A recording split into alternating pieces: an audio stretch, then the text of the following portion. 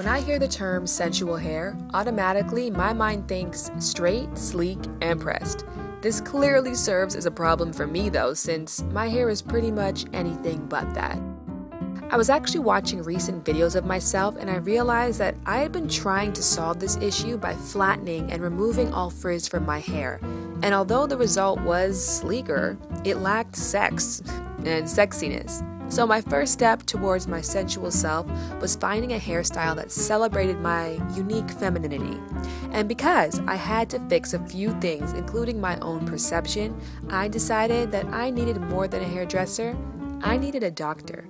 Capella Salon is located in North LA and it employs many professional stylists and colorists. But today, I came to see the owner, the curl doctor, Shai Amiel. With decades of experience cutting, shaping, and healing coils and curls, I knew if anybody knew how to get the best out of my hair, it was this man right here.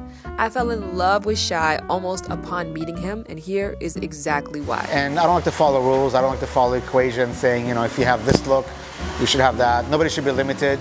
You should have fun with your hair, um, enjoy it, and always open to, be, to experimenting with it. Well, sign me up. In our initial consultation, I was told two things. One, it's a little clumpy here. Yeah. So I think if we release the weight here, it just feel a little fuller. So, how do I get the back to sort of stand up? Um, if we layer your hair, all this part here will just lift a little more. Uh, there's some short pieces here, but the interior here is really bulky. So I think by releasing the weight, it'll just have better movement. And two. I think if we add some gold to it, it'll be really pretty. Just a lot of tips that are a little lighter. That'll be really good. Shai has a very special way of cutting curls, but I will let him do all the explaining. The way that I cut curly hair is I cut individual ringlets, and I do the curl by curl method, where you take individual curls and you snip the tips of each curl. Um, this way you are able to create more volume or movement, and you only trim what is bad. So you don't have to cut big chunks of hair. Uh, when hair shrinks, especially curly hair, it's not very predictable, so you never know how it's going to shrink. So definitely see how the hair falls and trim it so it falls in place. We did a cleanse today to remove some buildup. Uh, most curly girls tend to load the hair with silicones or oils that weigh the hair down, uh, preventing movement and bounce and fluffiness. Um, it takes a couple applications of uh, the proper cleansers and conditioners to remove all the buildup. So today with Shannon's hair, we cleansed it, removed all the buildup, and we hydrated it and then we applied a little bit of the conditioner as a styling product with a little bit of gel because I did want the curls to shrink a little bit to allow it to have more volume. And we diffused it, creating a lot more movement around the face, lifting the crown to give the hair a lot more body. And once that dried, we shook it and fluffed it up to get it to expand a little more. Curly hair has personality. It's not just your typical standard look.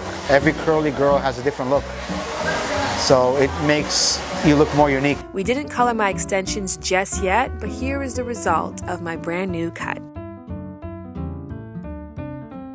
After I left the salon, I took way more than a new appreciation for fab, fluffy hair. I also took some tips. One, dry your hair with a cotton t shirt and never a towel. Two, apply your product immediately after the shower while your hair is still sopping wet. At this point, the product is already in my hair. Now, these products are not recommended by Shai, but they are what I have been using and have been enjoying of late. Next, I blow dried my hair and began another new technique I was taught of separating defined and dry curls to add volume.